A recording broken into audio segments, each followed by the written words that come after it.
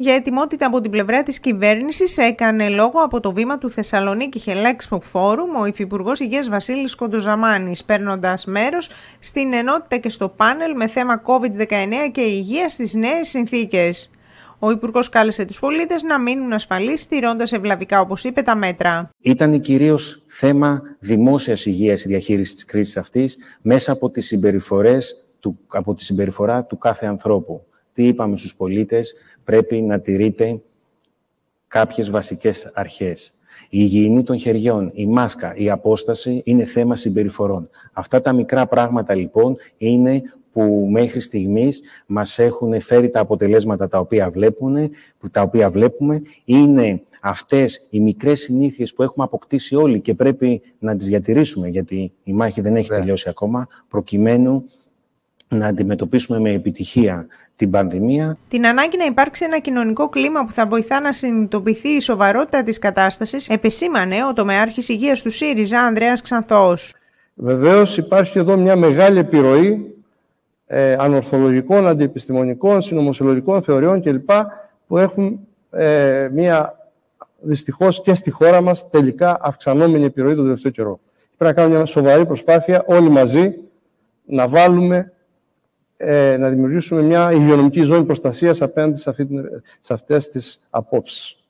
Αλλά για να πιστούν οι κοινωνίες, για να πιστούν οι πολίτες, για να υπάρχει συνειδητή συμμόρφωση και όχι επιβολή ε, και ε, αυταρχισμός και ε, τη, η λογική των, των απειλών και των προστήμων, Χρήσιμη χαρακτήρισε την ανησυχία που υπάρχει στην κοινωνία όσον αφορά το κομμάτι της συμπεριφοράς ο πρόεδρος του Πανελλήνιου Ιατρικούς Συλλόγου Αθανάσιος Εξαδάκτυλος. Σήμερα λοιπόν δεν έχουμε λόγο να είμαστε σε πανικό, όπως δεν έχουμε και λόγο να είμαστε σε εφησυχασμό. Λέμε ότι υπάρχει πανδημία όταν στον αριθμό των εξετάσεων που γίνονται διαπιστώνουμε ένα 10 έως 12% θετικών αποτελεσμάτων. Και αυτό το διαπιστώναμε στη χώρα μας την Άνοιξη.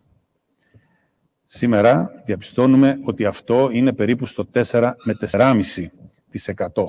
Και βεβαίως έχει αυξηθεί και η δυνατότητα να διενεργούνται τεστ, τα οποία στην πρώτη φάση ήταν περίπου 1.000 έως κάτι παραπάνω ημερησίως και αυτά με δυσκολία, σήμερα κυμαίνονται από 10 έως 12.000. Και την ημέρα που είδατε 180 νέους ασθενείς να βρίσκονται θετικοί στον κορονοϊό, έτυχε εκείνη την ημέρα να έχουν γίνει 6.500 τεστ. Όταν φτάσαμε πάλι στα 10-12, φτάσαμε στους αριθμούς που προκαλούν την ανησυχία. Για τα ευρήματα από το πρόγραμμα εξέτασης των λιμάτων ως προς τον κορονοϊό μίλησε ο πρίτανης του Αριστοτελείου Πανεπιστημίου Θεσσαλονίκης, Νίκος Παπαϊωάννου. 4 Μαΐου, όταν έλυγε το lockdown, δεν διαπιστωνόταν τα θράσματα του γενόματος του ιού στα λίματα.